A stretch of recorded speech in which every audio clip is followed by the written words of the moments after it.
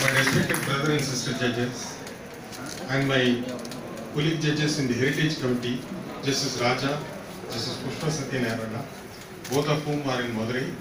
In fact, they are watching the program.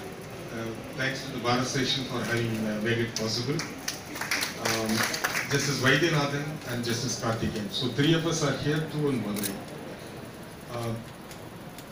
The Registrar General, the other registrars, senior advocates, members of the bar, the officials of the Public Works Department, ladies and gentlemen, and press and media.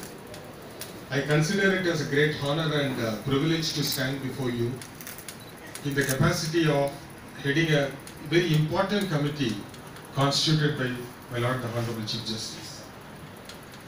In fact, this committee uh, owes his brainchild to the then Honorable Chief Justice, Justice A.P. Shah.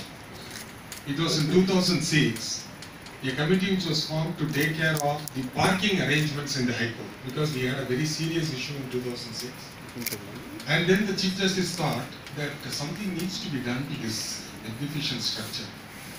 So little did we know that this committee would have to have a very tremendous task to perform in the years to come. So I would, in my opinion, consider this as he being a very good, great visionary, constituted this committee, and it had been headed by illustrious judges of this court, and uh, some of whom um, have retired, who have been elevated as chief justices and reached the Supreme Court judges. And the committees, the other committee judges and the other stakeholders, the Advocate General, Mr. Krishnamurthy, former Advocate General, everybody has contributed a mind.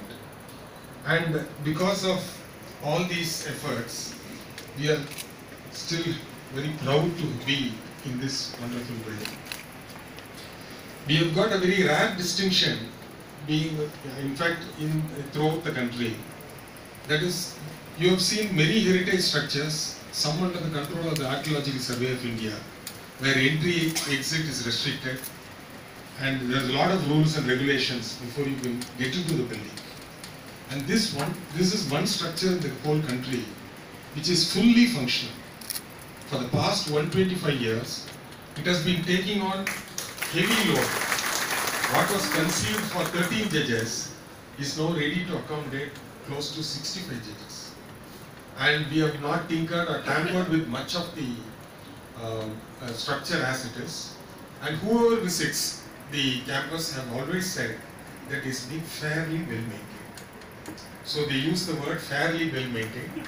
So we'll have to take credit to say that it has been well maintained. So thanks to the people who have uh, been associated with this. So in the capacity of uh, being in charge of the committee, I should acknowledge the contribution done by various organizations which have gone into, uh, who have helped us all these years and continuing to help us.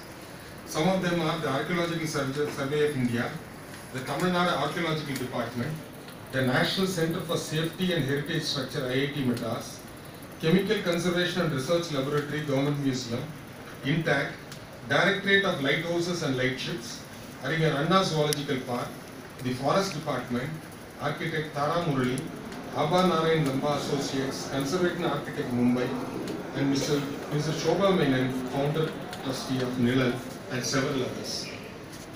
Some of the names you are purely governmental, some are quasi-governmental, and some are NGOs. So we had this good mixture so that we get the best talent. In fact, the Directorate of Lighthouses and Lightships helps helped us in the restoring the lantern on top of the old lighthouse. In fact, we'll show a couple of photographs uh, the, during the official function, which we, we were able to capture with the help of a drone. So otherwise, we need to go higher up than the uh, lighthouse to see how the lantern has come out. It's actually a dummy lantern because we are not allowed to put a light in that. But it has come out very well. It's a government organization. Another wonderful work which has been undertaken is to restore the domes. There are, I think, 21 domes totally to be restored. And the department has, uh, we have set up a laboratory near the car parking where the judges' cars are parked. It's a full-fledged